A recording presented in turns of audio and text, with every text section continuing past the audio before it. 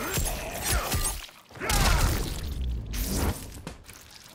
is better this way. Brutality. Sub-Zero wins.